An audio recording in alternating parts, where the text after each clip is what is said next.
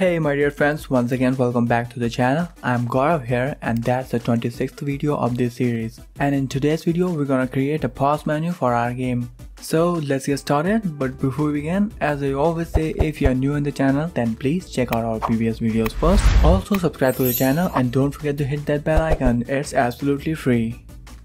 Now let's jump into the project and here I'll create a separate UI canvas and in there I'll contain the pause menu related stuff so that everything looks nice and tidy. And name it underscore pause menu canvas. Then set its scale mode to the scale with screen size and then set its reference resolution same as we done for the main menu canvas. And in it I'll add a button and I'll name it underscore pause button. But right now the button isn't visible here. Well, it's cause of the sort order number. Remember we will talk about it in the last video. So, cause the sort order number of the pause menu canvas is smaller than sort order number of the main menu canvas. So that's why the pause menu canvas is not visible here cause it's behind the main menu canvas. But for now, I'm temporarily disabling main menu canvas so that we can see the pause menu canvas and we will reactivate it later. Now change its height and width to make it perfect square. And then I'll anchor it to the top right corner by holding down the Alt button and then click on this preset. Now give it a little buffer from the edges and I'll give negative 100 on the X position and negative 200 on the Y position. But it still doesn't look like a pause menu button, does it? So let's make it to look like a pause button. And to do that, First get rid of its text type game object and then I'll drag this image which I downloaded from the internet into the source image slot. And if you want to download this icon then I have put the link down in the description below. But before you try to pass that image into the source image slot, you must first change its texture type to sprite 2D and UI and then hit the apply button and now you can easily pass it to the source image slot and it looks good. Now here under the pause menu canvas, we will create an empty game object and I'll name it pause menu UI. Then stretch it all over the canvas and there we will create two more game objects, one for background and another for making resume button. Now add a UI image to make a background and name it background.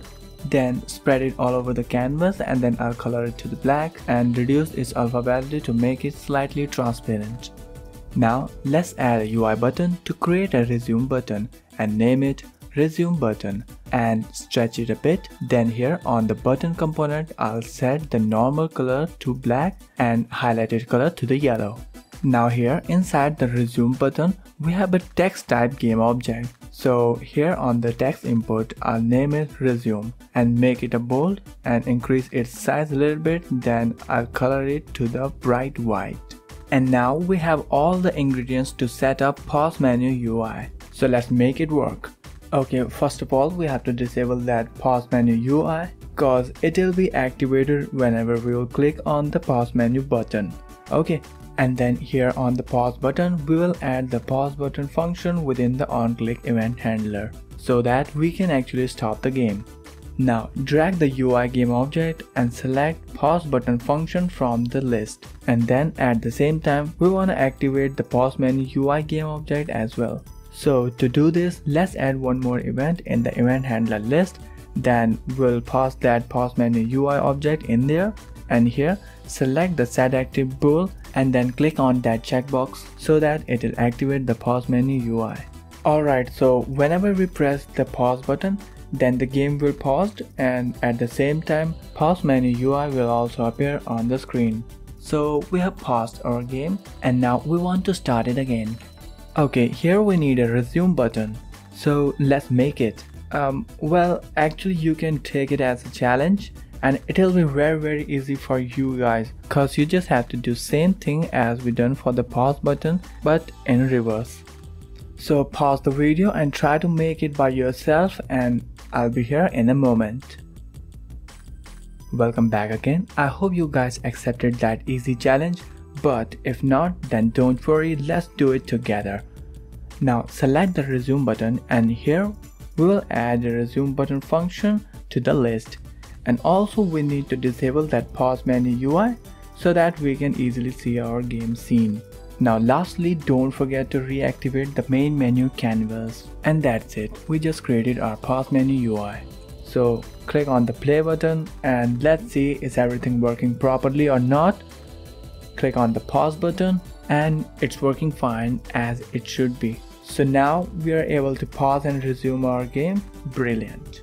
Well yeah, I know currently the game's UI looks really ugly and stinky. But soon we will work on it to improve its looks. Or else you can use your artistic skills to make it interesting and amazing. But for now that's all in this video and in the next video we'll create a back button and the exit menu UI. So till then keep learning, keep practicing and I'll meet you in the further upcoming videos. For now, see you later.